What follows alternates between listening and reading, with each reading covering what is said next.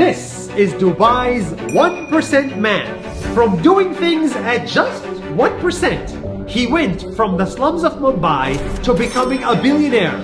This is his incredible story. Hi Nas Daily, I'm Rizwan Sajan. I am the founder of Danube Group and this is my story.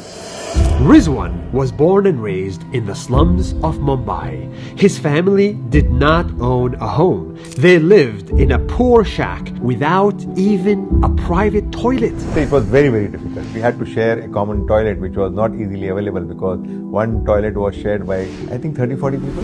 One day, his dad won the government home lottery and got a chance to buy a home at a discount.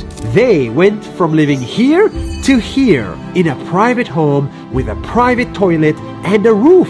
And this changed his life. At that moment, I understood the value of home.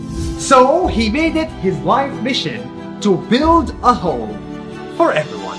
He immigrated to the Emirates, and here most of this did not exist in 1991. Dubai was just starting. People needed a home, and homes were expensive.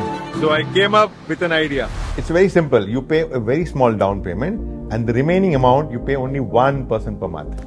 That's it. That's it. And that simple 1% idea made him into a billionaire. The 1% when I started, nobody thought it's going to work. But I said, no, this is going to work. I had a plan in my mind what I'm going to do. They said this will never work, but the business actually worked. Thousands of working class people started to buy his homes. They just needed to pay 1% every month. He started building home after home. He built this building, and this building, and this building, and this building. I feel very happy because most of the people to whom I have given home could not actually buy this home if we had not come out with this 1% plan. The guy who used to live in the slums of Mumbai built 15,000 homes and became one of the most successful business people in the country. Is this your car now? Yeah, that's my car. This is your car now? Yeah. It's a nice car.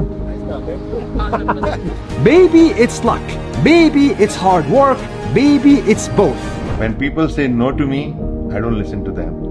I only listen to my intuition, my heart. And if my heart says go for it, I go for it. The most important thing is don't listen to the people who say no. It is possible to go from the slums of Mumbai to being a billionaire. Thank you, Nuseir. You're doing a wonderful job. Thank you. Thank you.